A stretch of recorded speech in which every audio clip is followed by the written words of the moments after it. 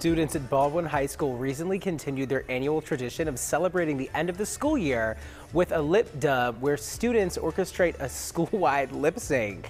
While the song list and route was finalized over a longer period of time, most of the clubs participating prepared and organized this in a matter of days. On the day of, there was only enough time for a single practice run and then the real deal. We did We're All in This Together, like a live performance my senior year in high school, and it took weeks of rehearsal.